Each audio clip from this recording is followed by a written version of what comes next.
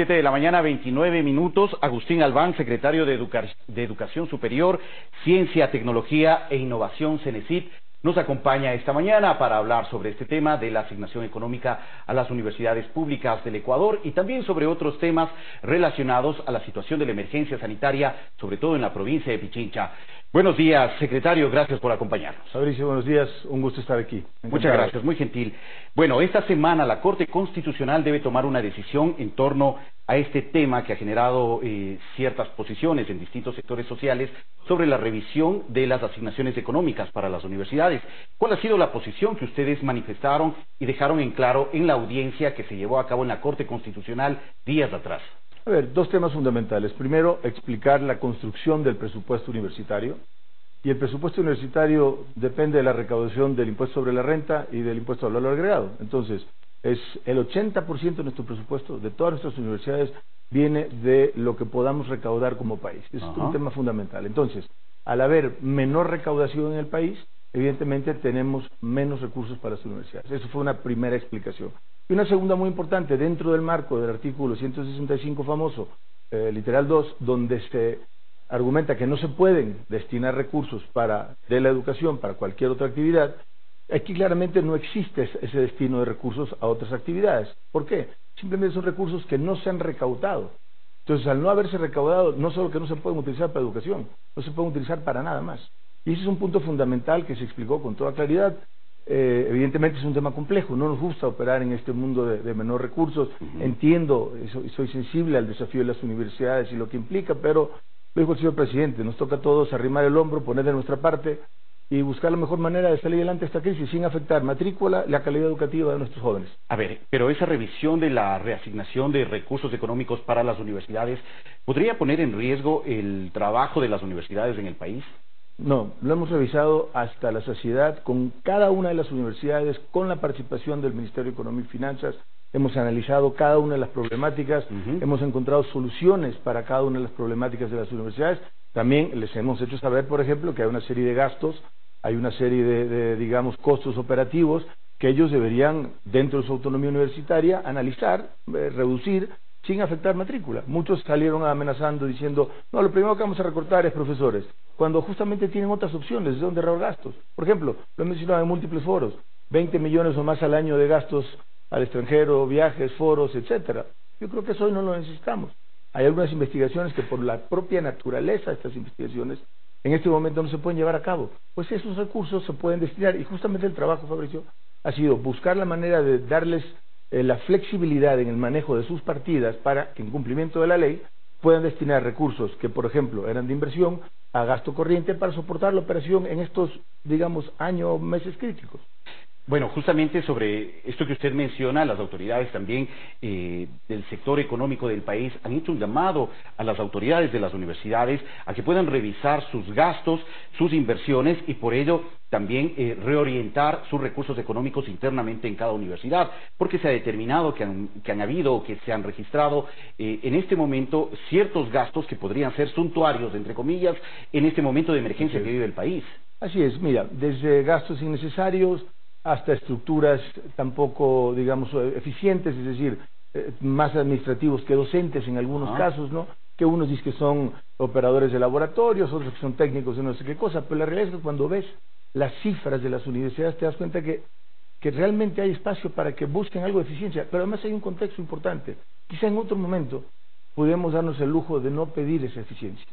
Hoy no podemos, porque primero tenemos menos recursos y tenemos una obligación moral con el país, con, gente, con los 150 mil desempleados del país, que hoy están en una situación de, extremo desafío, para que las universidades también aporten, no solo con su investigación, que es valiosísima y muy recibida, pero con este, digamos, arrimar el hombro para, para maximizar el uso de los recursos del país. Eh, ¿Cuánto se podría reorganizar eh, internamente desde las universidades o reorientar en recursos económicos? ¿Ustedes han hecho esa cuantificación? Lo hemos hecho universidad por universidad. Nos hemos tomado el tiempo y el trabajo de reunirnos con cada rector y cada uno de sus equipos económicos, administrativos y financieros y entre temas de su ejecución presupuestal, que se dan el caso, entre temas de quizá algunos ajustes salariales, que en algunos casos son excesivos, en el tema de, mejor manejo del gasto corriente en general, tenemos espacio para salir adelante. eh, de forma general, ¿de qué monto podríamos estar hablando que podrían reorganizar las universidades? Pues es que tendríamos, dependiendo del fallo de la Corte, tendríamos que ajustar los noventa y tantos millones de, por la falta de recaudación. Pero hay maneras de hacerlo. O sea, sí hay opciones para que las universidades puedan reorganizar sus finanzas internas y con ello enfrentar el momento. No solo hay opciones, es la gran oportunidad, y lo, y lo repito, la gran oportunidad para que el sistema universitario ecuatoriano, en la realidad que vivimos, pues se ponga un poco la mano en el corazón y preocupándose más por nuestros alumnos, eh, haga una reestructura interna sin afectar ni matrícula ni calidad. Y han mantenido durante estas horas, estos últimos días, acercamientos con los representantes de las universidades, con los rectores, para tratar de conciliar posiciones y llegar a un acuerdo. Por supuesto, se ha tenido reuniones con cada uno de ellos. Evidentemente, el momento que la, el Corte Constitucional emite el fallo eh, de medidas cautelares, pues bueno, quedamos un poco a la expectativa de qué va a pasar. Si nos vamos por la vía de buscar soluciones con cada una de ellas o esperamos que la Corte falle eh, como quieren las universidades, a favor de las universidades, con el consecuente problema, que ese fallo no implica el cheque. O sea, con el fallo no viene un cheque, claro. viene solo un fallo. Exactamente. Entonces tendríamos un problema de enfrentar eh, ese déficit de recaudación con un fallo de la Corte que habrá que cumplir. Por el momento no ha habido una revisión del tema de las asignaciones económicas a las universidades. Eso sigue suspendido hasta que haya una decisión de la Corte Constitucional. No, justamente las medidas cautelares eh, impiden la aplicación del recorte hasta que decida de fondo la Corte eh, cuál es su decisión en cuanto a la aplicación de las normas presupuestales de las universidades. ¿no? Bueno, las autoridades entonces han planteado su posición, ya solamente hay que esperar la resolución de la Corte Constitucional, que ustedes esperan tener una posición favorable para los intereses del país. Yo creo que más bien es, es eh, para los intereses del país, para los intereses de los alumnos, y creo que es una oportunidad única para construir un diálogo y cooperar ante una nueva realidad. O sea, el sector académico no está exento de una caída del PIB del 6 o 7%. Claro que sí.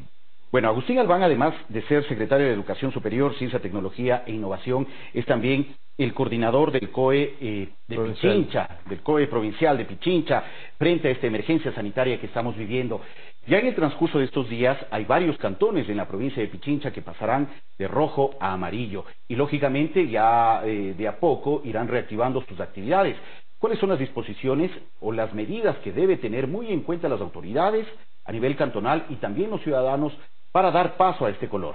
A ver, lo fundamental, em, cambiar de color no significa bajar la guardia. Y eso es algo que hemos dicho y repetido hasta la saciedad. ¿no? no quiere decir que la enfermedad desaparece, simplemente tenemos que implementar eh, medidas para evitar el contagio y para eh, evitar la propagación del virus, mientras regresamos a la productividad. Eso es esencialmente lo que se pretende con este cambio de semáforo y con este cambio de medidas eh, para la provincia. ¿Cuánto ha afectado el tema de este confinamiento que hemos tenido que cumplir los ecuatorianos frente a la emergencia sanitaria para el caso de la provincia de Pichincha? No le puedo decir el número para la provincia exacto, pero sé que a nivel país estamos hablando de 12 mil millones de dólares en ventas perdidas. Si vemos la importancia que tiene eh, la provincia en el PIB, particularmente en temas construcción, temas servicios, tema turismo, pues hombre, la afectación debe ser muy importante y muy grande, sin duda. Claro, y, lógicamente en la provincia de Pichincha está la capital del Ecuador, la población, eh, la ciudad con más población actualmente y lógicamente eh, con un aporte económico muy importante. Esa reactivación progresiva también debe tomar muy en cuenta la ciudadanía, debe contar con el compromiso de cada uno de nosotros para evitar que esta amenaza de la pandemia se pueda extender o reactivar en cualquier caso. Así es, es fundamental Creo que si nos cuidamos a nosotros mismos con las medidas de bioseguridad, lavado de manos, distanciamiento, mascarillas, creo que vamos a poder transitar hasta esta, a esta nueva normalidad. Hay que entenderlo. O sea, la normalidad que vivimos probablemente no regrese porque vamos a tener que vivir con este virus. Entonces, esta nueva normalidad nos, obliga a tener una nueva actitud de solidaridad, de compromiso, de un mayor humanismo con todos nuestros ecuatorianos. O sea, no podemos salir a la calle y mascarilla eh, siendo un riesgo de contagio, por ejemplo. ¿no? Eso no podemos hacer. ¿Cómo se encuentra el sector de la salud también en la provincia de Pichincha frente a esta reactivación progresiva que se viene? Lo hemos comentado mucho, lo comentaba justamente el ministro de Salud hoy en la mañana. Eh, hemos tenido un trabajo primero coordinado, un puesto de mando único que nos ha permitido utilizar la capacidad instalada de todo el sistema sanitario de la provincia, que fue un gran acierto. Segundo, eh, ha, ha habido incrementos de tanto UCIs como camas para COVID de 60 y tantos, 69% del caso de la SUSI, porque lo, lo tengo en la memoria. Es decir, si bien el sistema se ha ido llenando, no se ha rebasado. Y eso lo, lo, repito porque... Tiene capacidad de respuesta. Hoy tiene capacidad de respuesta y sigue teniendo incrementos. Se sigue llenando, hay días que se llena más, hay días que se vacían algo de camas. Digamos, es un tema dinámico que hemos ido entendiendo. ¿Qué estamos viendo? Que el mayor número de contagios lo tuvimos, digamos, a comienzos de mayo. Entonces, justamente esos contagios, en el porcentaje que tienen que hospitalizarse, son los que estamos atendiendo en este momento. Claro. Entonces, tenemos la capacidad de respuesta, hoy lo reiteraba eh, en otro medio el señor ministro de, Salud, eh, y lo hemos ido demostrando de esa manera. Claro, pero este indicador finalmente no tiene que generar eh, una tranquilidad generalizada en la ciudadanía, sino que la ciudadanía siempre debe estar activada y muy atenta a lo que se puede venir. Lo hemos dicho, lo han dicho todas las autoridades, no solo sanitarias, nosotros en el COE. Creo que es un momento de altísima responsabilidad. Es más, me atrevería a decir que quizá es más fácil el confinamiento que esta nueva salida. Claro que sí. Porque esto obliga una, un gran alto, un gran, altísimo grado de responsabilidad y de cuidado entre nosotros y a nosotros mismos. Muy bien, muchas gracias, secretario, por la información. Gracias, Fabricio, un placer estar aquí. Muchas gracias. Agradecemos a Agustín Albán, secretario de Ciencia y Tecnología de Educación Superior, por ofrecernos información relacionada a la situación de las universidades y también las medidas sobre el paso de color rojo a amarillo en varios cantones de la provincia de Pichincha. 7 de la mañana, 40 minutos. Vamos a hacer una pausa, regresamos en breve con más.